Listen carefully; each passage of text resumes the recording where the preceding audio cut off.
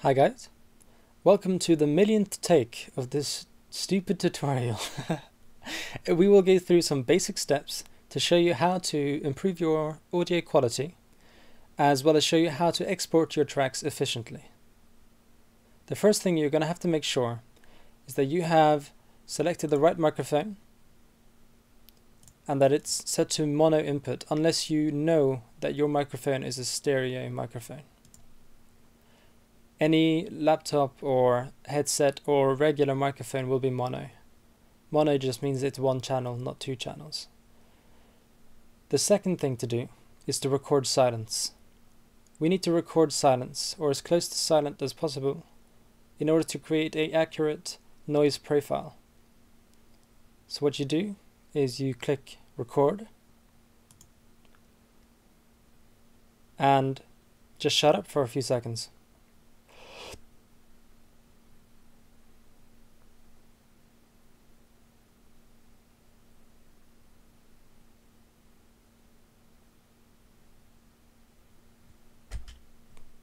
Now that we've recorded some silence, we can select a part using this tool and then listen to it.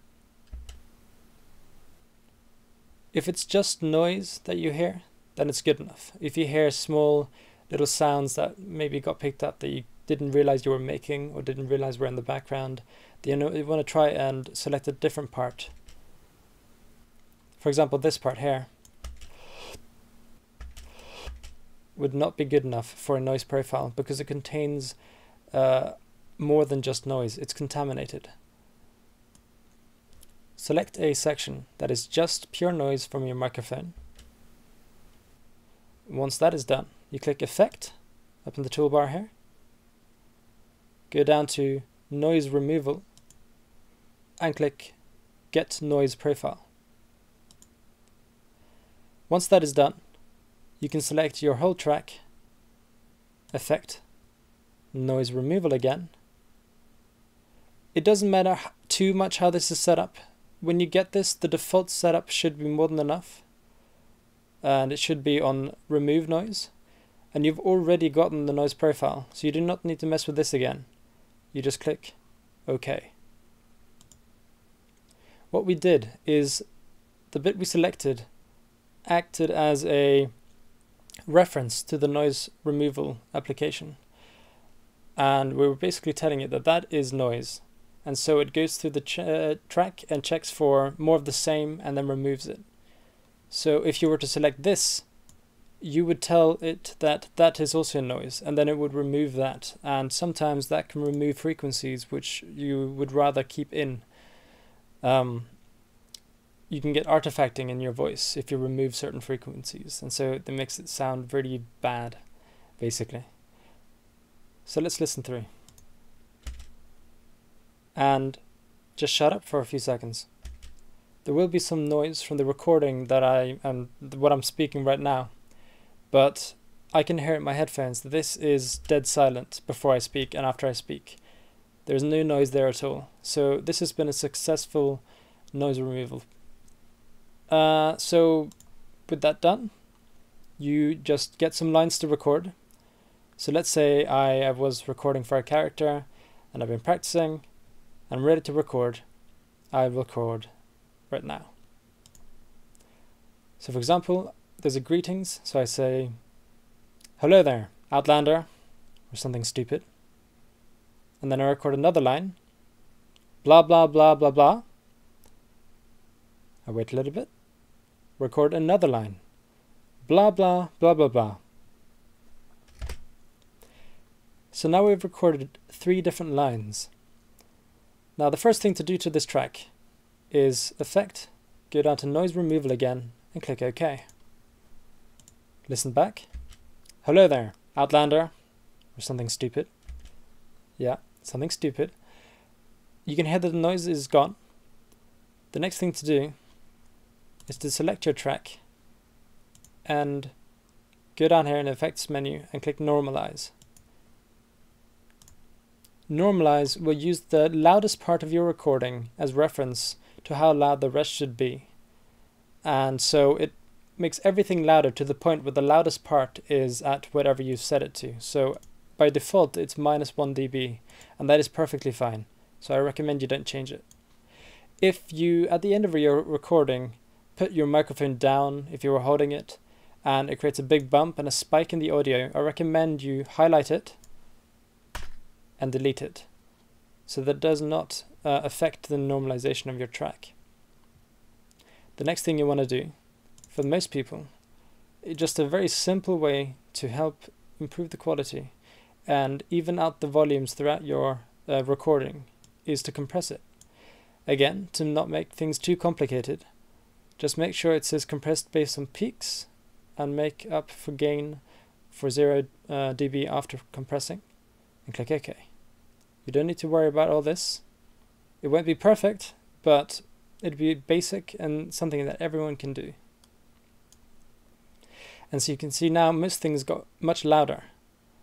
Now what th that uh, what that did is make everything louder to 0 dB, but it it made the quieter parts much louder in comparison to how much louder it made the louder parts from before. So now everything has a more even volume and then you go back here and click normalize again.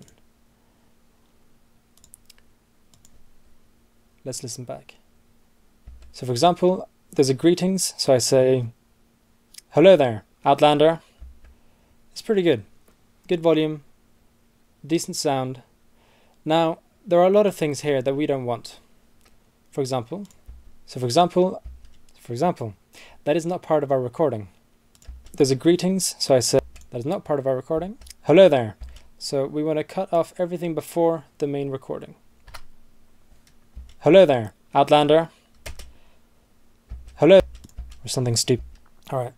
So we want to cut it there. You just basically click along the timeline so that it highlights one part, but it doesn't select a part. It just highlights a mark in the track. And once that's uh, marked you can click uh, or push control I and it will create a divide in the track. So it's split here. And then you can do the same for the next part. So and then I record another line. Blah blah you can select there control I and then this part you could just delete and that's fine. Another way of doing it, as we'll demonstrate later here, I wait a little bit.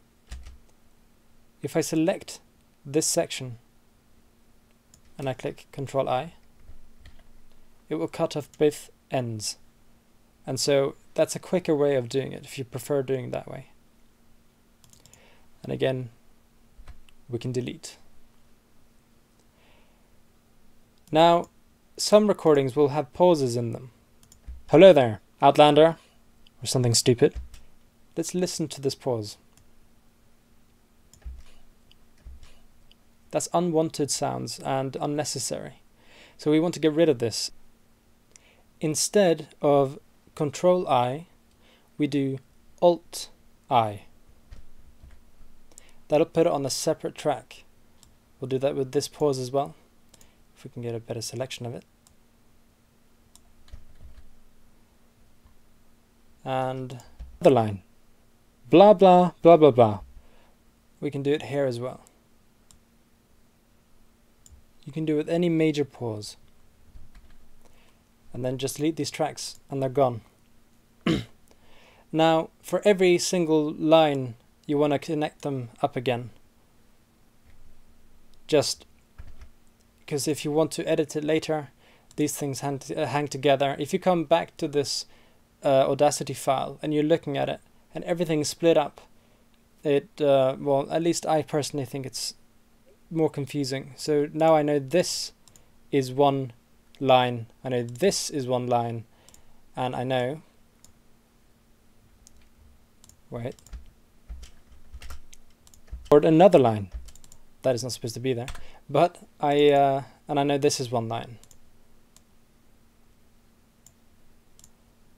Now, now that we've edited them, uh, edited them, we've cut them up, we want to export them. So what you want to do is select a place in the timeline. So for the first line, we're going to select right at the beginning. Click tracks in the toolbar. Go down to add label at selection. And you can see it adds this little thing where you can just type whatever you want. So we're going to type Q test 1 We're then going to select, um, we're going to move, the, we're going to separate them slightly. So it's easier to navigate and see where the splits are. We're going to select here, right where it starts, tracks, add label at selection, Q test 2 and the third one. You can see it says control B. So if you have selected the area you can go control B and it gives you automatically. And we'll put in Q test 3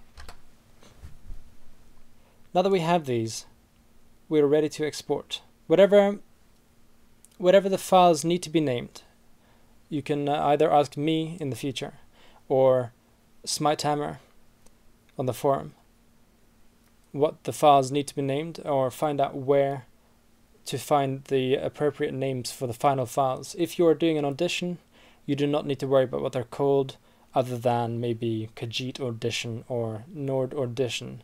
Or if you're auditioning for a specific character, uh, I don't know, Snorri audition. He's a Nord blacksmith.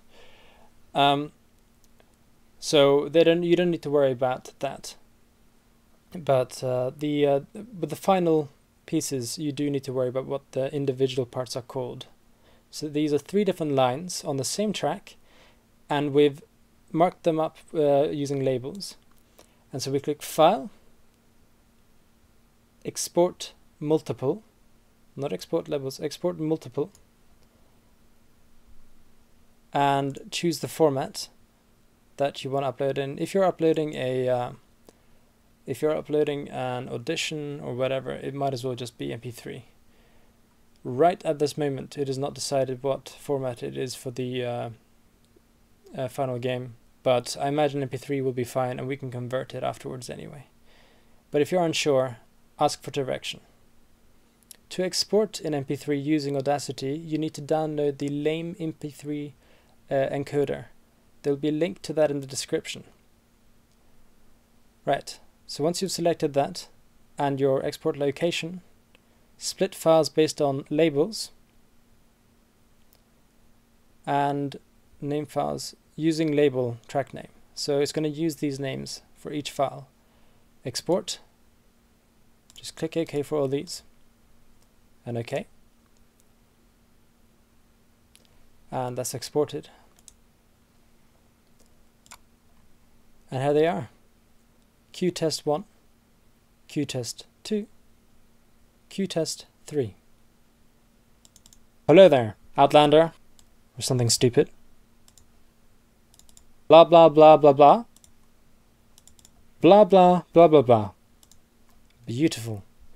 And now you have three files that are nicely organized. You can put them in a folder if you want and organize them however you want in the on the computer, but that just means you don't have to export every single line separately or name them individually for every track and it'd be a mess. This is the easiest way to do it.